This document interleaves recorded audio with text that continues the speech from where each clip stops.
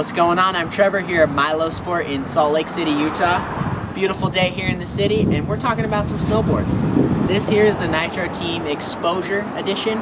Um, each size features a different photographer. This is the 159. Pretty rad.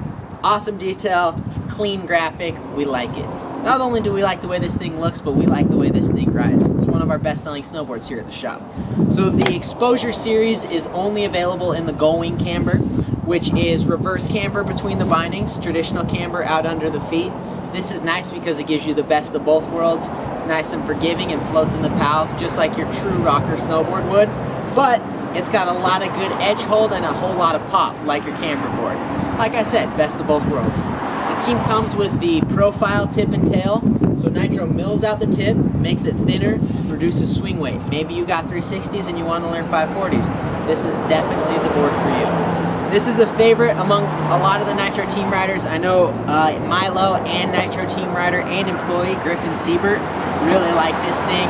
It's great because it's one board that you can do it all on. Whether you're ripping in the POW, whether you like park jumps, whether you like hitting rails even. Or maybe you're just into cruising around with your family and want something that's going to be forgiving and fun. This is the board for you. Come in and check it out.